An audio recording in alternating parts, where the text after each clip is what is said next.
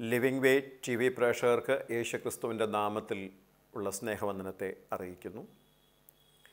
വചനത്താൽ ലോകത്തെ എങ്ങനെ ജയിക്കാം എന്ന ഈ സന്ദേശ പരമ്പരയിലേക്ക് പീസ് ഇൻ ലൈഫ് മിനിസ്ട്രീസ് ഒരുക്കുന്ന ഈ ദൈവവചന പരമ്പരയിലേക്ക് ഞാൻ നിങ്ങളെ വീണ്ടും കർത്താവായ യേശുക്രിസ്തുവിന്റെ നാമത്തിൽ സ്വാഗതം ചെയ്യുന്നു സ്നേഹവന്ദനത്തെ അറിയിക്കുന്നു. കഴിഞ്ഞ എപ്പിസോഡുകളിലൂടെ അനേകർ പലര് ദൈവവചനം കേൾക്കാനും അതിനെക്കുറിച്ച് ചിന്തിക്കുവാനും അപ്പോൾ തന്നെ പ്രാർത്ഥനാ വിഷയങ്ങൾ അറിയിച്ചവരുണ്ട്. അവരെല്ലാവരെയും ഓർത്തും ദൈവം ഇടപെട്ട അല്ലെങ്കിൽ ജീവിതത്തിൽ മാറ്റങ്ങൾ വന്ന പലരുമുണ്ട് വിളിച്ചറിയിച്ചവരുണ്ട്. അവരെല്ലാവരും ഓർത്ത് ഞാൻ പിതാവായ ദൈവത്തിന്റെ മഹത്വവും സ്തുതിയും കരയേറ്റുന്നു. അപ്പോൾ തന്നെ നിങ്ങൾക്ക് വേണ്ടി ഞങ്ങൾ പ്രാർത്ഥിച്ചുകൊണ്ടിരിക്കുന്നു. തുടർന്നും പ്രാർത്ഥനയിൽ ഓർക്കുകയും കർത്താവിന്റെ സമാധാനം നിങ്ങൾ അനുഭവിക്കട്ടെ എന്ന് ആശംസിക്കുകയും ചെയ്തുകൊണ്ട് ഇന്നത്തെ ചിന്തയിലേക്ക് നമ്മൾ പ്രവേശിക്കുന്നു. കർത്താവിന്റെ നാമത്തിൽ നമ്മൾ ആശ്രയിക്കുന്നു. ഒരുമിച്ച് ദൈവവചന ശ്രദ്ധയ്ക്കായി നമുക്ക് സമയങ്ങളെ വേർതിരിക്കാം. ഇന്ന് തിരുവചന ചിന്തയ്ക്ക് ആധാരമായി എടുക്കുന്നത് ലൂക്കോസിന്റെ സുവിശേഷം പത്തൊമ്പതാം അധ്യായം. പത്തൊമ്പതാം അധ്യായത്തിന്റെ നാൽപ്പത്തി ഒന്ന് രണ്ട് വാക്യങ്ങളാണ് ഞാൻ വായിക്കുന്നത്. Luke chapter nineteen verse forty one and forty two. യേശു നഗരത്തിന് സമീപിച്ചപ്പോൾ അതിനെ കണ്ട് അതിനെക്കുറിച്ച് കരഞ്ഞു. ഈ നാളിൽ നിന്റെ സമാധാനത്തിനുള്ളത് നീയും അറിഞ്ഞെങ്കിൽ കൊള്ളായിരുന്നു. ഇപ്പോഴോ അത് നിന്റെ കണ്ണുകൾക്ക് മറഞ്ഞിരിക്കുന്നു. കർത്താവായ യേശു ക്രിസ്തു യരിശലയും പട്ടണത്തിൽ എത്തിയപ്പോൾ ആ പട്ടണത്തെ നോക്കി കരഞ്ഞു എന്ന് നമ്മൾ തിരുവഴുത്തിൽ വായിച്ചല്ലോ. എന്നിട്ട് എരിശിലേം നിവാസികളോട് അല്ലെങ്കിൽ തന്റെ ജനമായ യഹൂദന്മാരോട് യേശു പറഞ്ഞ ഒരു കാര്യമാണ് ഈ നാളിൽ നിന്റെ സമാധാനത്തിനുള്ളത് നീയും അറിഞ്ഞെങ്കിൽ കൊള്ളായിരുന്നു. ഈ ദിവസങ്ങളിൽ അല്ലെങ്കിൽ വരും ദിവസങ്ങളിൽ നമ്മുടെ സമാധാനത്തിന് വേണ്ടത് എന്താണെന്ന് നമ്മൾ അറിയണമെന്ന് ദൈവം ആഗ്രഹിക്കുന്നു. അതാണ് അതിലെ പ്രധാനമായ സന്ദേശം. അപ്പോൾ അതിൽ നിന്ന് ഒരു കാര്യം സ്പഷ്ടമാണ് വളരെ വ്യക്തമാണ്. നമ്മുടെ സമാധാനത്തിനുള്ളത് നമ്മുടെ കുടുംബ സമാധാനത്തിനുള്ളത് നമ്മുടെ നാം ഉൾപ്പെട്ട് നിൽക്കുന്ന സമൂഹത്തിൽ സമാധാനത്തിനുള്ളത് നമ്മുടെ രാജ്യത്ത് സമാധാനത്തിനുള്ളത് എന്താണ്? ലോക സമാധാനത്തിന് വേണ്ടത് എന്താണ്? എന്ന് ഏറ്റവും കൃത്യമായി അറിയാവുന്ന ദൈവം കർത്താവായ യേശു ക്രിസ്തു അപ്പോൾ യേശു ക്രിസ്തു അത് പറയുന്നെങ്കിൽ ഈ നാളിൽ നിന്റെ സമാധാനത്തിനുള്ളത് നീയും അറിഞ്ഞെങ്കിൽ കൊള്ളായിരുന്നു എന്ന് പറയുന്നതിൽ നിന്ന് തന്നെ സമാധാനത്തിനുള്ളത് എന്തെന്ന് ദൈവത്തിന് അറിയാം എന്നത് സ്പഷ്ടം. രണ്ട് അത് നമ്മൾ അറിയണമെന്ന് ദൈവം ആഗ്രഹിക്കുന്നു എന്നതും സ്പഷ്ടമായ കാര്യമാണ്. ഇനി നമ്മുടെ ഭാഗത്താണ് ബാക്കി കാര്യങ്ങൾ കിടക്കുന്നത്. അപ്പോൾ ഒന്ന് ഞാൻ പറഞ്ഞു സമാധാനം നഷ്ടപ്പെട്ടിട്ടുണ്ടെങ്കിൽ സമാധാനമില്ലാത്തൊരു സാഹചര്യമാണെങ്കിൽ സ്വസ്ഥതയ്ക്കും സന്തോഷത്തിനും സമാധാനത്തിനും ഭംഗം വന്ന ഒരു ജീവിത സാഹചര്യമാണ് ഇപ്പോൾ ഉള്ളതെങ്കിൽ അവിടെ സമാധാനം സ്ഥാപിക്കപ്പെടാൻ എന്താണ് വേണ്ടതെന്ന് ദൈവത്തിനറിയാം. അത് നമ്മളും അറിയണം എന്ന് ദൈവം ആഗ്രഹിക്കുന്നു അറിയിക്കുവാനും കർത്താവ് തയ്യാറാണ്. അപ്പോൾ മൂന്ന് കാര്യങ്ങളാണ് നമ്മൾ ഓർത്തിരിക്കേണ്ടത്.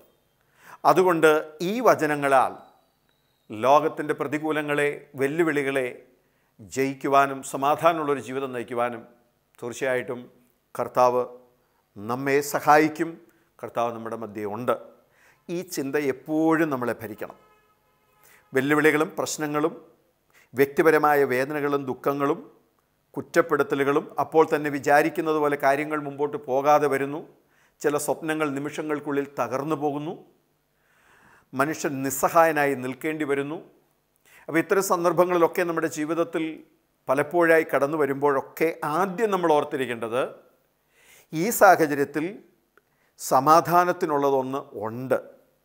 അതെന്താണെന്ന് അറിയാവുന്നൊരു ദൈവം നമുക്കുണ്ട് നസ്രയനായ യേശു ക്രിസ്തു അത് നമ്മെ അറിയിക്കുവാൻ ആഗ്രഹിക്കുന്ന ദൈവമാണ് കർത്താവായ യേശു ക്രിസ്തു ലൂക്കോസിന്റെ സുവിശേഷം തന്നെ പതിമൂന്നാം അധ്യായത്തിന്റെ മുപ്പത്തിനാലാമത്തെ വാക്യത്തിൽ കർത്താവ് പറയുന്ന ഒരു കാര്യം അല്ലെങ്കിൽ ലോകത്തോട് തന്റെ ജനത്തോട് അറിയിച്ചൊരു കാര്യമുണ്ട്. എരിശലേമേ എരിശലേമേ പ്രവാചകന്മാരെ കല്ലെറിഞ്ഞവളെ കോഴി തന്റെ കുഞ്ഞുങ്ങളെ ചിറകിന്റെ കീഴിൽ മറയ്ക്കുന്നത് പോലെ എനിക്ക് എത്രയോ വട്ടം മനസ്സായിരുന്നു നിന്നെ എന്റെ ചിറകിന്റെ കീഴിൽ മറയ്ക്കാൻ. പക്ഷെ നിനക്കോ മനസ്സായില്ല. അപ്പം കോഴി തന്റെ കുഞ്ഞുങ്ങളെ ചിറകിന്റെ കീഴിൽ മറയ്ക്കുന്നത് എപ്പോഴാണ്? എന്തിനാണ്? എങ്ങനെയാണ്? തീർച്ചയായിട്ടും കോഴിക്കുഞ്ഞുങ്ങൾ പ്രാപ്തിയാകുന്നത് വരെ ആ കോഴിപ്പടയുടെ ചിറകടിയിലാണ് അത് അഭയം പ്രാപിക്കുന്നത്. പ്രത്യേകിച്ച് കുഞ്ഞുങ്ങൾ വിരിഞ്ഞ് രണ്ടോ മൂന്നോ ദിവസം ഒരാഴ്ച കഴിയുമ്പോൾ പറമ്പിലേക്കൊക്കെ പുറത്തേക്കൊക്കെ ഇറങ്ങുമ്പോൾ പാമ്പ് കീരി പരുന്ത് ഇങ്ങനെയൊക്കെ അതിനെ വേട്ടയാടാൻ വരുന്ന ശത്രുക്കളുടെ സാന്നിധ്യം കാണുമ്പോൾ തന്നെ കോഴിപ്പട ഒരു പ്രത്യേക ശബ്ദം പുറപ്പെടുവിക്കുന്നത് നമുക്കറിയാം. അല്ലെങ്കിൽ കോഴിപ്പൂവിനടുത്തുണ്ടെങ്കിൽ ഒരു പ്രത്യേക അപകട സൂചന കുഞ്ഞുങ്ങൾ കൊടുക്കുന്നത് നമുക്ക് കാണാൻ പറ്റും. ആ നിമിഷം തന്നെ ഈ കോഴിക്കുഞ്ഞുങ്ങൾ എവിടെയായിരുന്നാലും അത് തീൻ തേടിക്കൊണ്ടിരിക്കുകയായിരിക്കാം. പെട്ടെന്ന് അത് നിർത്തിയിട്ട് ഈ തള്ളക്കോഴിയുടെ ചിറകിന്റെ അടുക്കിലേക്ക് ഓടി വരുമ്പോൾ ഈ കോഴിപ്പട ചിറകിനെ വിടർത്തി പിടിച്ച് കുഞ്ഞുങ്ങളെ അതിനകത്തേക്ക് ചേർത്ത് ഒതുക്കി സുരക്ഷിതമായി അവിടെ ഇരുത്തുന്ന ഒരു രംഗമുണ്ട്. നമ്മളത് കണ്ടിട്ടുണ്ട് ഞാൻ പ്രത്യേകം ശ്രദ്ധിച്ചിട്ടുണ്ട്. ഇറ്റ്സ് സോ ബ്യൂട്ടിഫുൾ അങ്ങനെ വരുമ്പോൾ ആ കുഞ്ഞുങ്ങൾ കോഴിപ്പടയുടെ ചിറകിന്റെ അടിയിൽ അവർ സുരക്ഷിതരാണ്. ആ സുരക്ഷിതത്വ ബോധം അതിനുണ്ട്. യാതൊരു ഭയവും അതിന് വരുന്നില്ല. ഇതുപോലെ തന്നെ നമ്മുടെയൊക്കെ ജീവിതത്തിൽ കഷ്ടങ്ങൾ അനർത്ഥങ്ങൾ ശത്രുവിന്റെ പോരുകൾ വിവിധ നിലകളിലുള്ള സാഹചര്യങ്ങൾ നമുക്ക് കൈകാര്യം ചെയ്യാൻ പറ്റാത്ത നമുക്ക് നേരിടാൻ പറ്റാത്ത നമുക്ക് അഭിമുഖീകരിച്ച് മുന്നോട്ട് പോകാൻ പറ്റാത്ത സന്ദർഭങ്ങളൊക്കെ വരുമ്പോഴും ഈ ശബ്ദം അല്ലെങ്കിൽ ഈ കർത്താവിന്റെ ആ മുന്നറിയിപ്പ് തീർച്ചയായിട്ടും ഉണ്ടെന്നുള്ളത് നിങ്ങൾ നിങ്ങൾ മറക്കരുത്. ആ ദൈവശബ്ദം കേൾക്കാനുള്ള ആ സമയം നമ്മൾ വേർതിരിക്കുന്നില്ല. അതാണ് യഥാർത്ഥത്തിൽ അതൊരു പ്രശ്നം. എനിക്ക് എത്രയോ വട്ടം മനസ്സായിരുന്നു നിന്നെ എന്റെ ചിറകിന്റെ കീഴിൽ മറയ്ക്കാൻ. പക്ഷെ നിനക്കോ മനസ്സായില്ല. മനസ്സാകാത്തതിന് നമ്മൾ പറയുന്ന ഒരു പദമാണ് സമയം കിട്ടിയില്ല എന്നൊക്കെ.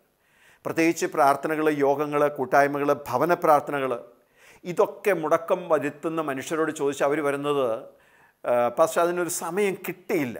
അല്ലെങ്കിൽ ബൈബിൾ ക്ലാസ്സിന് വരാൻ വചനം പഠിക്കാൻ സമയം കിട്ടിയില്ല. അതൊക്കെ തെറ്റായ ചില എന്താണ് തെറ്റായ ചില കാര്യങ്ങൾ തന്നെയാണ്. അങ്ങനെ ഒരു പദം ഉപയോഗിക്കുന്നതിന് തെറ്റാണ്. സമയം കിട്ടിയില്ലെന്ന് ഒരിക്കലും പറയാൻ പാടില്ല. ഞാൻ ആ പ്രോഗ്രാമിന് സമയം എടുത്തില്ല. അല്ലെങ്കിൽ എനിക്ക് അതിനേക്കാൾ പ്രധാനപ്പെട്ട വേറൊരു കാര്യത്തിന് ഉണ്ടായിരുന്നു. ഇതേ നമ്മൾ പറയാവുള്ളൂ. അല്ലെങ്കിൽ കള്ളവും കൂടെ ആവും. കാരണം ഇരുപത്തിനാല് മണിക്കൂർ ലോകത്തുള്ള എല്ലാ മനുഷ്യരും ഒരുപോലെ ദൈവം തന്നിരിക്കുക. അപ്പോൾ കർത്താവ് പറയുന്നത് നിന്റെ സമാധാനം നഷ്ടപ്പെടാൻ സാധ്യതയുള്ള സാഹചര്യങ്ങൾ മുന്നിൽ നിൽക്കുന്നു. എന്നാൽ നിന്റെ സമാധാനം എന്ന് പറയുന്നതിനെ കൊണ്ട് അതെന്താണെന്ന് നീ അറിയുവാൻ അല്പസമയം നീ വേർതിരിക്കണം. ഞാൻ അതുകൊണ്ടാണ് കഴിഞ്ഞ എപ്പിസോഡുകളിലൊക്കെ ഈ പേഴ്സണൽ വ്യക്തിപരമായ ദൈവവചന പഠനവും ധ്യാനത്തിന്റെയും പ്രാധാന്യത്തെക്കുറിച്ച് പറയുകയുണ്ടായി. ദൈവവചനം വായിക്കുക എന്ന് പറഞ്ഞാൽ ദൈവത്തോടു കൂടി നമ്മൾ സമയം വേർതിരിക്കുന്നു. ദൈവത്തിൽ നിന്നുള്ള അരുളപ്പാടുകൾ കേൾക്കാൻ നമ്മൾ ശ്രദ്ധിക്കുന്നു. നമ്മുടെ സമാധാനത്തിനുള്ളത് എന്തെന്ന് ദൈവവചനത്തിലൂടെ പ്രാപിക്കുവാനും അറിയുവാനും അതനുസരിച്ച് ജീവിക്കുവാനും സമയം വേർതിരിക്കണം. അത് നമ്മുടെ കടമയാണ്. അങ്ങനെ നാം ചെയ്യുന്നെങ്കിൽ അതിനാണ് ഞാൻ പറഞ്ഞതുപോലെ മുമ്പ് കഴിഞ്ഞ പ്രാവശ്യം ഞാൻ പറഞ്ഞല്ലോ ഈ പേഴ്സണൽ പേഴ്സണൽ ബൈബിൾ സ്റ്റഡിയുടെ ഒരു കാര്യം ഞാൻ കാണിച്ചായിരുന്നു. ഇതെന്ന് പറയുന്നത് വചനം ധ്യാനിച്ച് ബൈബിൾ വായിക്കണം പ്രാർത്ഥനാപൂർവം ധ്യാനത്തോടെ വായിക്കുമ്പോൾ ദൈവം സംസാരിച്ച വചനം എടുത്തെഴുതാൻ വേണ്ടി പേജ് തയ്യാറാക്കപ്പെട്ട ഒരു വർഷം എഴുതാനുള്ള ഒരു ഡയറിയാണ്. ഇത് ഇതിന്റെ ചെറിയൊരു വില ഇതിനുണ്ട് ഒന്ന് കാണുമ്പോൾ മനസ്സിലാകുമല്ലോ. ഓക്കെ അത് കൊടുത്ത് മേടിക്കാൻ തയ്യാറുള്ളവർ കോൺടാക്ട് ചെയ്ത് തീർച്ചയായിട്ടും അതിനുള്ള ക്രമീകരണങ്ങൾ നമുക്ക് ചെയ്യാം. ഇത് കിട്ടിക്കഴിഞ്ഞാൽ നമ്മൾ ചെയ്യേണ്ടത് എല്ലാ ദിവസവും മൂന്ന് അധ്യായം വായിക്കണം ബൈബിൾ മൂന്നായി തിരിച്ചിട്ടുണ്ട്. അത് എന്തിനാണെന്ന് വെച്ചാൽ മൂന്ന് ഭാഗങ്ങളിലൂടെ വായിച്ചു വരുമ്പോൾ ബൈബിൾ ക്രമീകൃതമായി വായിച്ച് തീരുന്നു വിഷയങ്ങൾ നന്നായി പഠിക്കുന്നു അപ്പോൾ തന്നെ ദൈവിക ആലോചനകൾ നമ്മൾ പ്രാപിക്കുന്നു അതനുസരിച്ച് വിജയകരമായ ഒരു ജീവിതം നയിക്കാൻ നമുക്ക് സാധിക്കുന്നു. ഇതാണ് അതിന്റെ പ്രത്യേകതകൾ. അപ്പോൾ തന്നെ ഈ ബുക്കിനകത്ത് ബൈബിളിന്റെ വിവിധ പേരുകൾ ബൈബിൾ വായിക്കേണ്ട വിധങ്ങൾ ബൈബിൾ ദൈവികമാണെന്നതിന്റെ തെളിവുകൾ ബൈബിളും ശാസ്ത്രവും ബൈബിൾ ആർക്കും നിഷേധിക്കാൻ പറ്റാത്ത എന്തുകൊണ്ടിങ്ങനെ ഒത്തിരി കാര്യങ്ങൾ ഇൻഫർമേഷൻസും ഉണ്ട്. തീർച്ചയായും അപ്പം ഇതിലൂടെ ഞാൻ ഉദ്ദേശിക്കുന്നത് ഓരോ വ്യക്തിയും തങ്ങളുടെ സമാധാനത്തിന് വേണ്ടത് എന്ത് എന്ന് തിരിച്ചറിയണം.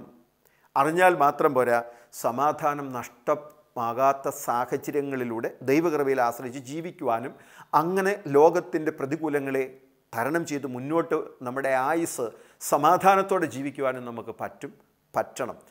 സത്യത്തിൽ അതാണ് നമ്മൾ ഈ ശുശ്രൂഷയിലൂടെ അല്ലെങ്കിൽ ഈ എപ്പിസോഡിലൂടെയൊക്കെ ഞാൻ ആഗ്രഹിക്കുന്ന കാര്യം അതാണ് ഈ ശുശ്രൂഷയിലൂടെ അല്ലെങ്കിൽ ഈ ദൈവവചന സന്ദേശത്തിലൂടെ ഞാൻ ആഗ്രഹിക്കുന്ന കാര്യം നമ്മൾ ഓരോരുത്തരും നമ്മുടെ ആയുസ് സന്തോഷത്തോടെ ജീവിക്കണം.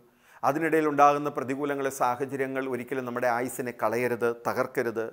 അപ്പോൾ തന്നെ എന്നും പരിഭവവും പരാതിയും വേദനയും തിന്നുകൊണ്ട് തന്നെ ഒരു ആയുസ് ജീവിക്കണമെന്ന് ദൈവം ആഗ്രഹിക്കുന്നില്ല. അപ്പോൾ അതിനെയൊക്കെ തരണം ചെയ്യുവാൻ തീർച്ചയായിട്ടും ദൈവവചനത്തിൽ തന്നെ ആശ്രയിക്കണം.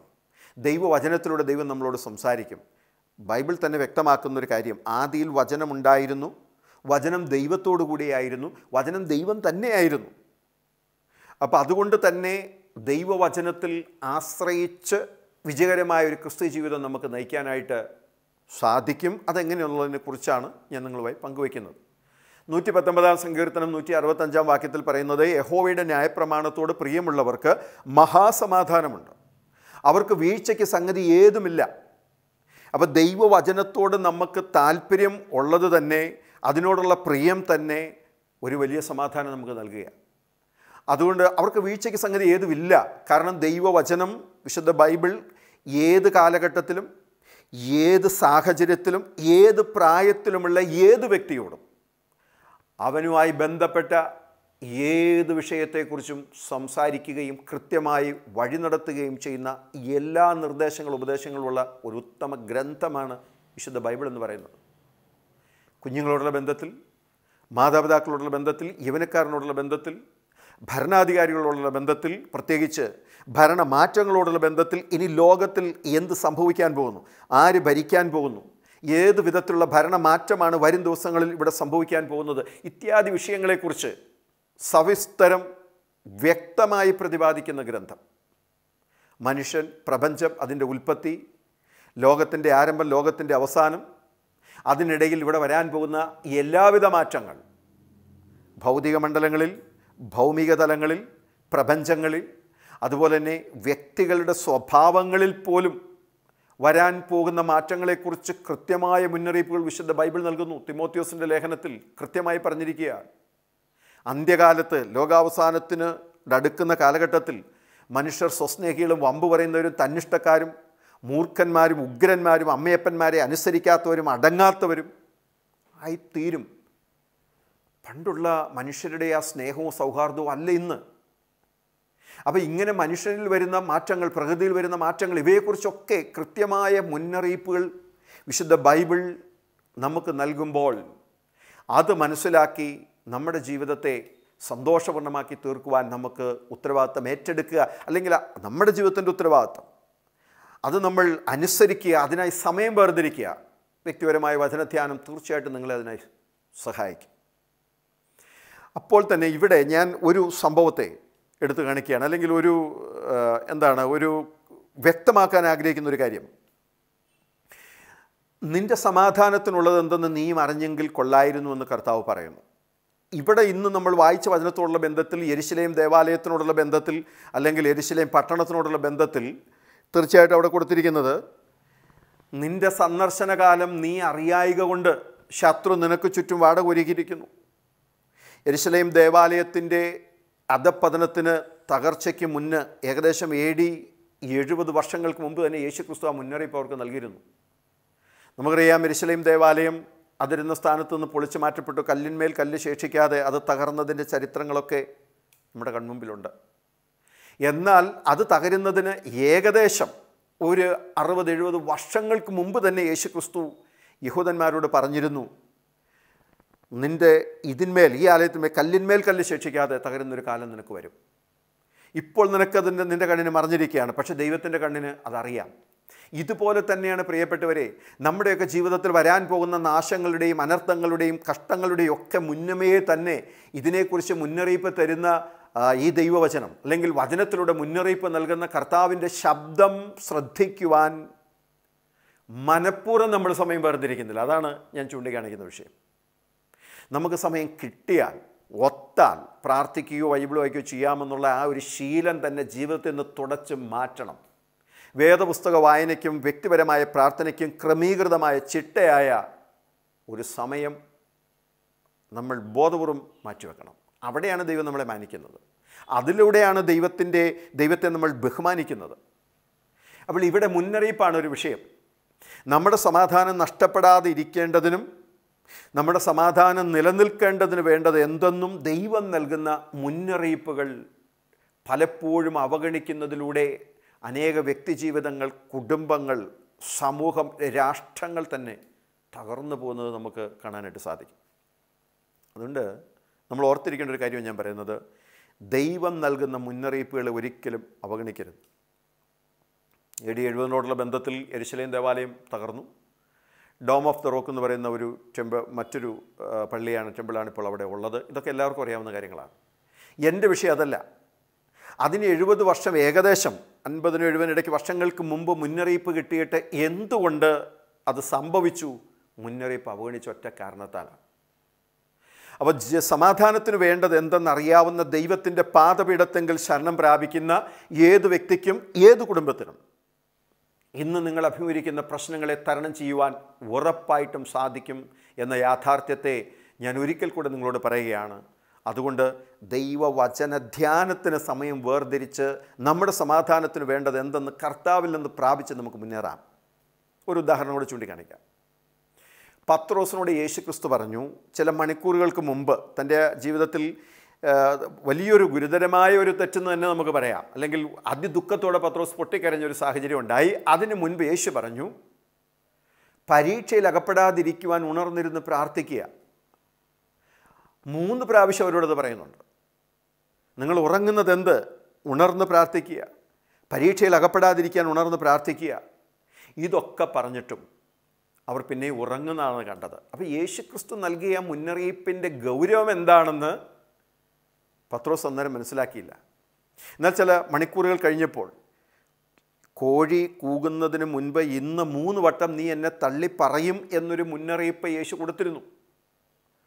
അങ്ങനെ ഒരു സാഹചര്യം വരാതിരിക്കുവാനും വന്നാൽ അതിൽ അകപ്പെട്ട് പരാജയപ്പെടാതിരിക്കുവാനും ഉണർന്ന് പ്രാർത്ഥിക്കുവാൻ രണ്ടാമത് മുന്നറിയിപ്പ് കൊടുത്തു. ഇതെല്ലാം അവഗണിച്ചു. അതുകൊണ്ട് ആ സാഹചര്യം വന്നപ്പോൾ യേശുവിനെ എനിക്ക് അറിയത്തില്ലെന്നും യേശു ക്രിസ്തുവുമായിട്ട് എനിക്കൊരു ബന്ധമില്ലെന്നും ആണയിടാനും പ്രാകുവാനും തുടങ്ങി പത്രോസ് അത് സംഭവിച്ചു. യേശു തിരിഞ്ഞു ഒന്ന് നോക്കി. പത്രോസ് അതിദുഃഖത്തോടെ പുറത്തിറങ്ങി പൊട്ടിക്കരിഞ്ഞു. മൂന്നര വർഷം കൂടെ നടന്നിട്ട് ഒരുമിച്ച് ശുശ്രൂഷ ചെയ്തിട്ട് സ്വർഗരാജ്യത്തിന്റെ താക്കോൽ യേശുവിന്റെ കയ്യിൽ നിന്ന് മേടിച്ചിട്ട് അത് തന്ന ഗുരുവുമായിട്ട് എനിക്ക് ഒരു ബന്ധമില്ലെന്നും എനിക്കറിയത്തില്ലെന്നും പറഞ്ഞ് പ്രാകുവാനും ആണയിടുവാനും ഇടവന്നതിന്റെ പിന്നിലെ യഥാർത്ഥ കാരണം കർത്താവ് തന്നെ നൽകിയ മുന്നറിയിപ്പ് അവഗണിച്ചതാണ് സത്യസന്ധമായി നിങ്ങൾ മറുപടി പറഞ്ഞാൽ ഇന്ന് നേരിടുന്ന പല പ്രശ്നങ്ങളുടെയും ഈ അതിദുഃഖത്തിന്റെയൊക്കെ ഒരു കാരണം. ഈ ഒരു സാഹചര്യം വരുന്നതിന് മുൻപ് തന്നെ കർത്താവ് നൽകിയ മുന്നറിയിപ്പുകൾ അവഗണിച്ചതാണ് ദൈവത്തിന്റെ ദാസന്മാരുടെ ദൈവത്തിന്റെ പ്രവാചകന്മാരുടെ മുന്നറിയിപ്പുകൾ അവഗണിച്ചതിലൂടെ ആവശ്യമായ പ്രാർത്ഥന ഇല്ലാതിരുന്നതിലൂടെ ദൈവിക ആലോചന ചോദിക്കാതെ സ്വന്തം ഇഷ്ടങ്ങൾക്കനുസരിച്ച് തീരുമാനമെടുത്തതിലൂടെ ഒക്കെ വന്ന അനേക വിനകൾ പരാജയങ്ങൾ നമുക്ക് കാണാൻ സാധിക്കും. അപ്പോൾ ഇവിടെ യേശു ക്രിസ്തു യരിശലേം ദേവാലയത്തെ നോക്കി പറഞ്ഞതിന്റെ കാരണം എന്താണ്? കാരണം ദൈവം തരുന്ന ഏത് നന്മയും ദൈവത്തിൽ നിന്ന് പ്രാപിക്കുന്ന എല്ലാ അനുഗ്രഹങ്ങളും സന്തോഷത്തോടു കൂടി അനുഭവിച്ച് അതിൽ നിലനിൽക്കണമെന്നതാണ് ദൈവത്തിന്റെ പദ്ധതി. ദൈവത്തിന്റെ ആഗ്രഹം അതാണ്. അതിനാവശ്യമായത് ദൈവം നമ്മളോട് പറയുകയാണ്. പ്രത്യേകിച്ച് കഴിഞ്ഞ പ്രാവശ്യം ഞാൻ സൂചിപ്പിച്ചു മുപ്പത്തിയെട്ട് വർഷം കുളത്തിന്റെ കരയിൽ കിടന്ന മനുഷ്യന് യേശു ഒരു വാക്കുകൊണ്ട് സൗഖ്യം കൊടുത്തു. അവൻ വീണ്ടും രോഗിയായി അവിടെ കിടക്കാൻ കർത്താവ് ആഗ്രഹിക്കുന്നില്ല. അതിനുകൊണ്ടാണ് യേശു പറഞ്ഞത് അവനെ ദേവാലയത്തിൽ വെച്ച് കണ്ടപ്പോൾ യേശു പറഞ്ഞു നോക്കൂ ഇപ്പോൾ നിനക്ക് സൗഖ്യമായല്ലോ. അധികം തിന്മയായത് ഭവിപ്പാതിരിപ്പാൻ നീ മേലിൽ പാപം ചെയ്യരുത്. അപ്പോൾ ഒരു മുന്നറിയിപ്പാണത്. അവനത് അവഗണിച്ചു എന്ന് ഞാൻ ചിന്തിക്കുന്നില്ല. കാരണം അവനെ പിന്നീട് അവിടെ രോഗിയായി കിടന്നതിന്റെ ഒരു ചരിത്രം ഇല്ല. തീർച്ചയായിട്ടും അവനത് ഏറ്റെടുത്തു എന്ന് ഞാൻ വിശ്വസിക്കുകയാണ് ഇനിയും ഈ ലോക സമാധാനം നഷ്ടപ്പെട്ടതിന്റെ തന്നെ തുടക്കം ചിന്തിക്കും. ഉൽപ്പത്തി പുസ്തകത്തിൽ രണ്ടാം അധ്യായത്തിൽ യഹോവയായി ദൈവം മനുഷ്യനെ സൃഷ്ടിച്ചിട്ട് അവനെ ഏതേൻ തോട്ടത്തിൽ കൊണ്ടുചെന്നാക്കി എന്ന് കൊടുത്തിരിക്കുന്നത്? അനാഥമായിട്ട് അവിടെ കൊണ്ട് വിടുകയല്ലായിരുന്നു. അവിടെ ചെന്നിട്ട് അവനോട് കൃത്യമായ നിർദ്ദേശങ്ങൾ കൊടുത്തു. തോട്ടത്തിലെ ഏത് വൃക്ഷത്തിന്റെയും ഫലം നിനക്ക് തിന്നാം എന്നാൽ നന്മ തിന്മകളുടെ അറിവിന്റെ വൃക്ഷഫലം നീ തിന്നരുത്. തിന്നുന്ന നാളിൽ മരിക്കും. മനുഷ്യനും അല്ലെങ്കിൽ അവന്റെ ഭാര്യ ഹവ്വയും ഹവ്വയും ആദാമും ആ കൽപ്പനകളെ ലംഘിച്ചതിലൂടെയാണ് യഥാർത്ഥത്തിൽ അസമാധാനവും പ്രശ്നങ്ങളും ലോകത്തിലേക്ക് കടന്നു വന്നത്. അതിന് മറ്റാരും ഉത്തരവാദിയല്ല ദൈവമക്കളെ. അതിന് അവർ തന്നെയാണ് ഉത്തരവാദി. അപ്പം ദൈവം ഇന്നും ചിലവർ പല വ്യക്തികളും ചോദിച്ചിട്ടുണ്ട് കേട്ടോ. അവരുടെ അറിവില്ലായ്മയിൽ നിന്നാണ് നമുക്കതറിയാം. ദൈവം എന്തിനാണ് കഷ്ടപ്പാട് തരുന്നത്? ദൈവം എന്തിനാണ് ഇങ്ങനെ ഈ രോഗം തരുന്നത്? ദൈവം എന്തിനാണ് മനുഷ്യൻ ഇങ്ങനെ ഭൂമിയിലേക്ക് കഷ്ടപ്പെടാൻ സൃഷ്ടിച്ച് വിട്ടേക്കുന്നത്? ഞാൻ നിങ്ങളോട് പറയുകയാണ്. കഷ്ടപ്പെടാനല്ല ദൈവം സൃഷ്ടിച്ച് ഭൂമിയിലേക്ക് വിട്ടത്. നിങ്ങൾ വേദപുസ്തകം അറിവുള്ളവരാണെങ്കിൽ അല്ലെങ്കിൽ വായിച്ചിട്ടുണ്ടെങ്കിൽ ഇല്ലെങ്കിൽ വായിക്കാം. തീർച്ചയായിട്ടും ഉൽപ്പത്തി പുസ്തകം നിങ്ങളെടുത്ത് വായിച്ചാൽ മനുഷ്യനെ ദൈവം കൂട്ടിക്കൊണ്ട് ഏതേൻ തോട്ടത്തിലാക്കിയിട്ട് പറഞ്ഞത് വേല ചെയ്യാനും തോട്ടം കാക്കുവാനും അവന് വേണ്ടി ആക്കി ഇഷ്ടം പോലെ ഏത് വൃക്ഷത്തിന്റെയും ഫലം നിങ്ങൾക്ക് ഇഷ്ടം പോലെ തിന്നാം. മനുഷ്യൻ സൃഷ്ടിക്കാൻ മനുഷ്യനെ സൃഷ്ടിക്കുന്നതിന് മുൻപ് തന്നെ അവന് വേണ്ട സകലതും ചമയിച്ചണിയിച്ചൊരുക്കിയ ഒരു സുന്ദര പ്രപഞ്ചത്തിലേക്കും തോട്ടത്തിലേക്കും ദൈവം മനുഷ്യനെ കൊണ്ടുവന്നത്. അവനെ സൃഷ്ടിച്ചതിന് ശേഷം മനുഷ്യന് വേണ്ടി ഒന്നും സൃഷ്ടിക്കേണ്ടി വന്നിട്ടില്ല. സ്ത്രീയെ ഒഴിച്ച് ബാക്കിയെല്ലാം ദൈവം സൃഷ്ടിച്ചിരുന്നു. അപ്പോൾ അവൻ ജോലി എവിടെ ചെയ്യണമെന്ന് അന്വേഷിച്ചു എന്ത് കഴിക്കുമെന്ന് അവൻ അന്വേഷിക്കേണ്ടി വന്നില്ല. എങ്ങനെ ശ്വസിക്കുമെന്ന് ചോദിക്കേണ്ടി വന്നില്ല. വെളിച്ചത്തിന് എന്ത് ചെയ്യണമെന്ന് ചോദിക്കേണ്ടി വന്നില്ല. മനുഷ്യന് തികച്ചും സമാധാനവും സ്വസ്ഥതയുള്ളൊരു ജീവിതമാണ് ദൈവം ഭാവന ചെയ്തത്. ദൈവത്തിന്റെ കൽപ്പന മനഃപൂർവം ലംഘിച്ച് മനുഷ്യൻ വിളി വിളിച്ചു വരുത്തിയ ഈ കഷ്ടതകൾക്ക് ഉത്തരവാദി മാനവകുലം തന്നെയാണ്. എന്നാൽ അതിൽ നിന്ന് നമ്മളെ വിടുവിക്കുവാനും രക്ഷിക്കുവാനും ദൈവത്തിന്റെ ആ മഹാകരുണ നിമിത്തം നമ്മെ തേടി വന്നതാണ് യേശുക്രിസ്തു യേശുക്രിസ്തുവിന്റെ സ്നേഹം. അതുകൊണ്ട് നിന്റെ സമാധാനത്തിനുള്ളത് എന്ത് എന്ന് നീ അറിഞ്ഞെങ്കിൽ കൊള്ളായിരുന്നു എന്ന് കർത്താവ് പറയുമ്പോൾ ഇനി ചെയ്യാവുന്നത്. കർത്താവ് ഇനിയുള്ള എന്റെ ആയുഷ്കാലം എന്റെ ജീവിതം എന്റെ കുടുംബജീവിതം അല്ലെങ്കിൽ എന്റെ സമൂഹം അനർത്ഥങ്ങളിൽ നിന്ന് വിടുവിക്കപ്പെടുവാൻ സ്വസ്ഥതയോടെ ജീവിക്കുവാൻ ഞാൻ ചെയ്യേണ്ടത് എന്നോട് അറിയിക്കണമേ എന്നൊരു പ്രാർത്ഥനയോടെ നിങ്ങൾ കർത്താവിന്റെ അടുക്കൽ വന്നാൽ തീർച്ചയായിട്ടും അറിയിക്കുവാൻ കർത്താവ് മനസ്സുള്ള ദൈവമാണ്. അതുകൊണ്ട് ഇനി നമുക്കൊരു സമാധാനം എന്ന് പറയുന്നത് തീർച്ചയായിട്ടും യേശു ക്രിസ്തുവിനോട് കൂടെയുള്ള ഒരു വാസവും അതിനോടുള്ള ബന്ധത്തിൽ നമ്മൾ അറിഞ്ഞിരിക്കേണ്ട പ്രധാനപ്പെട്ട ചില കാര്യങ്ങളുമാണ്. ഇനി ഈ ലോകത്തിൽ ഈ കഷ്ടത നിറഞ്ഞ ഈ ലോകത്തിൽ ഇങ്ങനെ തന്നെ ഒരു മാറ്റമല്ല നമുക്ക് ദൈവം ഒരുക്കിയിരിക്കുന്നത്. ക്രിസ്തു യേശുവിന്റെ വാക്ക് ശ്രദ്ധിച്ചു. എന്റെ പിതാവിന്റെ ഭവനത്തിൽ അനേക വാസസ്ഥലമുണ്ട്. അതൊരുക്കി കഴിഞ്ഞാൽ ഞാൻ നിങ്ങളെ ചേർക്കാനായിട്ട് കടന്നു വരും. അപ്പോൾ ഒന്ന് ഞാൻ രണ്ട് കാര്യങ്ങൾ പറഞ്ഞ് അവസാനിപ്പിക്കുകയാണ്. ഒന്ന് നമ്മുടെ ആയുസ് പൂർത്തീകരിക്കപ്പെടുന്നത് വരെയോ യേശു ക്രിസ്തുവിന്റെ രണ്ടാമത്തെ വരവ് വരെയോ അല്ലെങ്കിൽ നമ്മുടെ ആയുഷ്കാലം വരെ സ്വസ്ഥതയോടെ ജീവിക്കുക സമാധാനത്തോടെ ജീവിക്കുവാൻ വേണ്ടതെന്തെന്ന് കർത്താവിനറിയാം അത് പ്രാപിക്കുവാനായിട്ട് നമ്മൾ സമയങ്ങളെ വേർതിരിക്കണം ദൈവവചനം വായിക്കണം. ദൈവവചനത്തോട് പ്രിയമുള്ളവർക്ക് മഹാസമാധാനമുണ്ട്. കാരണം ലോകത്തിലെ മറ്റേത് വാർത്തകളിലും നമുക്കൊരു സന്തോഷവും സ്വസ്ഥയോ സമാധാനമോ ലഭിക്കുന്ന വാർത്തകളെന്നില്ല എന്നാൽ ഈ ദൈവവചനത്തിൽ എന്ന് പറയുന്നത് സമാധാന സന്ദേശമാണ്. ഗുഡ് ന്യൂസ് എന്ന് പറയുന്നത് സമാധാനത്തിന്റെ സന്ദേശമാണ്. അതുകൊണ്ട് തന്നെ ഏതും ആകട്ടെ നിങ്ങളുടെ വിഷയം പ്രശ്നവും സാഹചര്യവും. അതിനെക്കുറിച്ച് സംസാരിക്കുന്ന അതിനോടുള്ള ബന്ധത്തിൽ നിങ്ങൾ എന്ത് ചെയ്യണമെന്ന് നമ്മെ അറിയിക്കുന്ന ദൈവത്തിന്റെ സന്നിധിയിൽ ആ വചനത്തിന് മുന്നിൽ നിങ്ങൾ സമയങ്ങൾ വേർതിരിച്ചാൽ ഉറപ്പായിട്ടും വിഷയങ്ങൾക്കൊരു പരിഹാരമുണ്ട്. നൂ മുപ്പത്തി രണ്ടാം സങ്കീർത്തനം എട്ട് ഒമ്പത് വാക്യത്തിൽ ഇങ്ങനെയാണ് പറയുന്നത് ഞാൻ നിന്റെ മേൽ ദൃഷ്ടി വെച്ച് നിനക്ക് ആലോചന പറഞ്ഞു തരും. നീ നടക്കേണ്ടുന്ന വഴി ഞാൻ നിനക്ക് കാണിച്ചു തരും. നിങ്ങൾ ബുദ്ധിയില്ലാത്ത കുതിരയും കോവർക്കെഴുതിയും പോലെ ആകരുത്. അവയുടെ ചമയങ്ങളായ മുഖപ്പട്ടയും കടിഞ്ഞാണും കൊണ്ട് അവയെ അടക്കി വരുന്നു. അപ്പം നീ നടക്കേണ്ടുന്ന വഴി ഞാൻ നിനക്ക് കാണിച്ചു തരുമെന്ന് ദൈവം പറയുന്നെങ്കിൽ കർത്താവേ കൃപ തോന്നി അവിടുത്തെ വഴി എന്നെ അറിയിക്കണമേ എന്നൊരു പ്രാർത്ഥന നമുക്കുണ്ടായിരിക്കട്ടെ. അതുകൊണ്ട് തീർച്ചയായിട്ടും രണ്ട് കാര്യങ്ങളാണ് ശ്രദ്ധിക്കേണ്ടത്. ഒന്ന് സമാധാനം നഷ്ടപ്പെടുന്നതിന് മുൻപ് ഒരു പ്രശ്നത്തിൽ അകപ്പെടുന്നതിന് മുമ്പ് തകർച്ചകൾക്കും വീഴ്ചകൾക്കും കണ്ണുനീരിനും മുൻപ് തന്നെ വരാൻ പോകുന്ന സാഹചര്യത്തിന് മധ്യത്തിൽ നാം എങ്ങനെയായിരിക്കണമെന്ന് നമ്മളോട് അറിയിക്കുന്ന കർത്താവായ യേശു ക്രിസ്തുവിന്റെ ശബ്ദത്തിന് നിങ്ങൾ കാതു കൊടുക്കണം.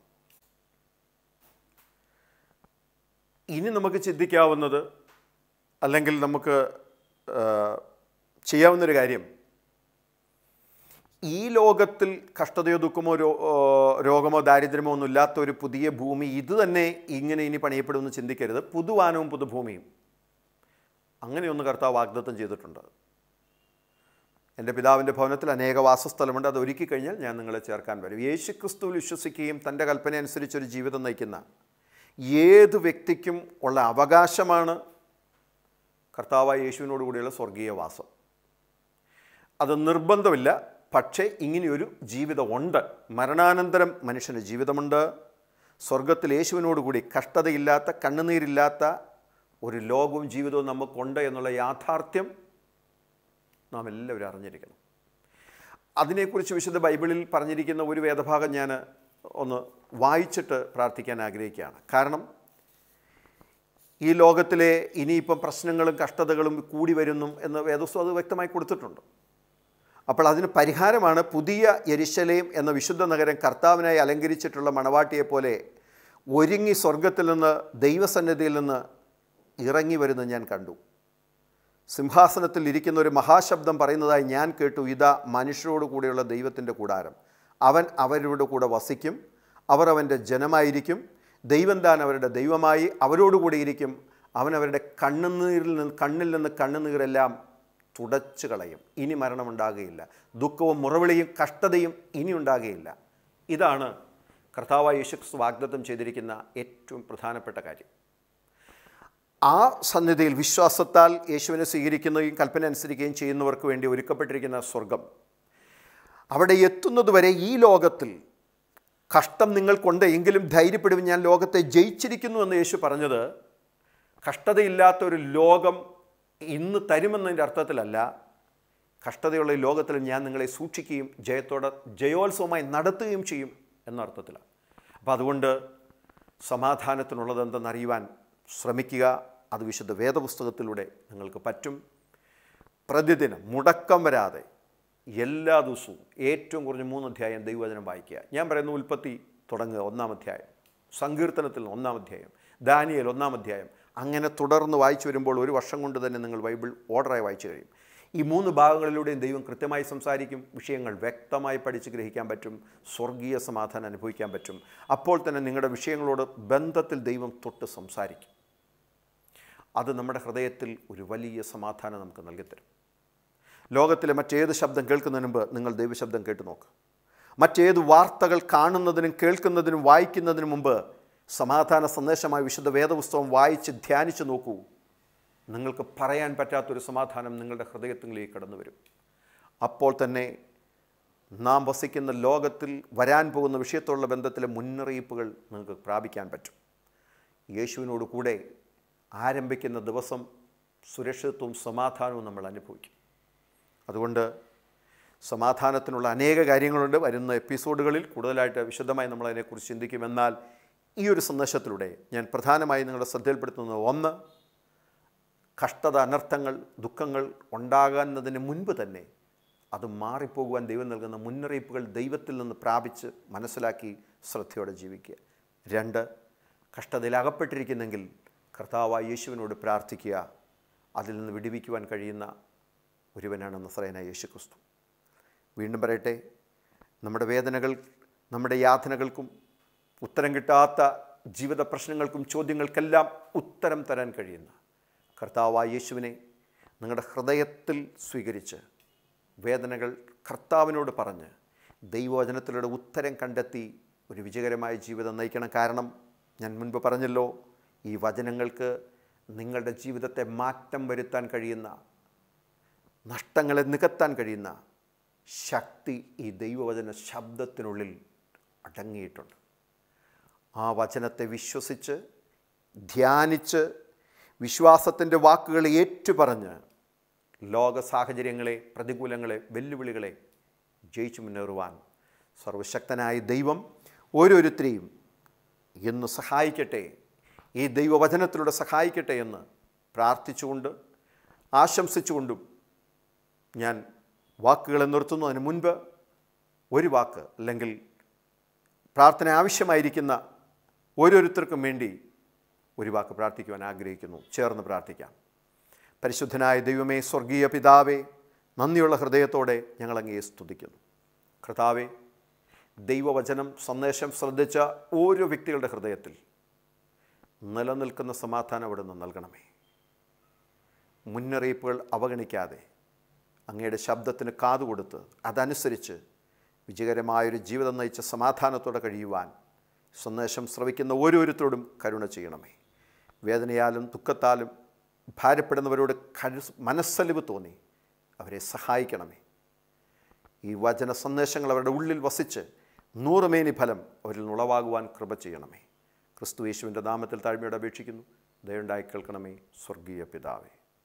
ഗോഡ് ബ്ലസ് യു ഓൾ ഈ പീസ് ഇൻ ലൈഫിന്റെ സന്ദേശങ്ങൾ അല്ലെങ്കിൽ ഈ വേദപുസ്തക പരമ്പര നിങ്ങൾക്ക് അനുഗ്രഹമായെങ്കിൽ മറ്റുള്ളവർക്ക് നിങ്ങൾക്ക് ഷെയർ ചെയ്യാം. ഭാരത്തിലും പ്രയാസത്തിലും ആയിരിക്കുന്ന സ്നേഹിതർക്ക് പങ്കുവെക്കുക. ഒരുമിച്ച് ഒരു നല്ല ജീവിതം നയിക്കുവാൻ കർത്താവ് നമ്മെ ഓരോരുത്തരെയും സഹായിക്കട്ടെ. God bless you all